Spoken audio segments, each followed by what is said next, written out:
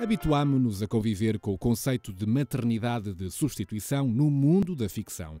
A barriga de aluguer foi tema de tramas de telenovelas, séries e até mesmo em argumentos de filmes de cinema. Ainda assim, pelos constrangimentos legais, foi um conceito que se manteve longe da realidade portuguesa. Agora que se discute esta possibilidade para mulheres que não conseguem gerar um filho, o que pensarão os portugueses sobre esta janela aberta pela ciência?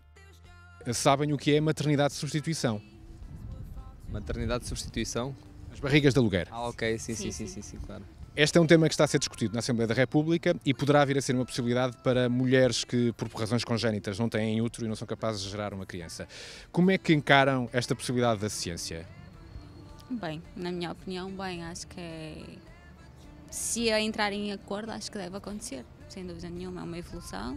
A sociedade, se calhar, não está preparada para isso, mas acho que deve acontecer, na minha opinião. Uh, não sou contra, totalmente contra, mas sei que levanta-se aqui uma série de questões que eu ainda não, uh, ainda não pensei, não, não estive, uh, não aprofundei ainda seriamente, não é? Acho bem.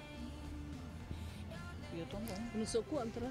Que era preciso muitas crianças, com poucas, não é? Imaginem a impossibilidade de serem pais, por uma razão feminina, não colocaria entraves em que fosse uma amiga sua, uma irmã ou até a sua própria mãe a dar à luz o vosso filho? Na minha opinião, não. Não sei se no meu marido sim, mas no meu, na minha opinião, não.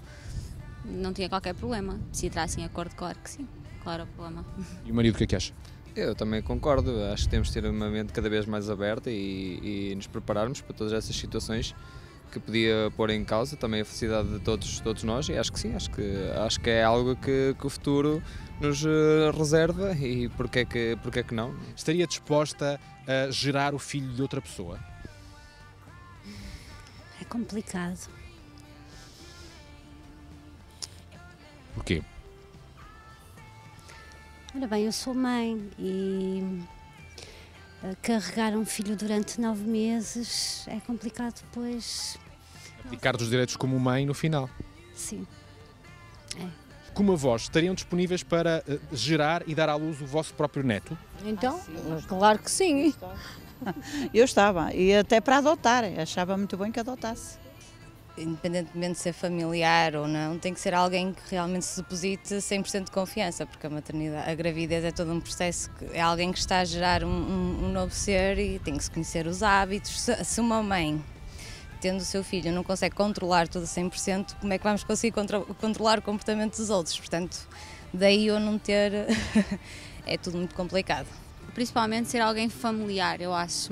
Amigos é sempre um bocado, um bocado mais risco. Acho que família, diretamente, uma irmã, a mãe não diria, mas uma irmã, acho que jamais faria o contrário. Que a gente gera a criança, não é? E, e anda grávida da barriga. E, e adotar uma criança fica grávida do coração. É coração. Acho que é assim. Que é, o amor é que conta. A investigação e os triunfos das ciências médicas caminham grande parte das vezes a passos mais largos do que a nossa compreensão consegue alcançar. A discussão legal em torno deste assunto há de continuar na Assembleia da República, assim como nas casas de muitas famílias portuguesas.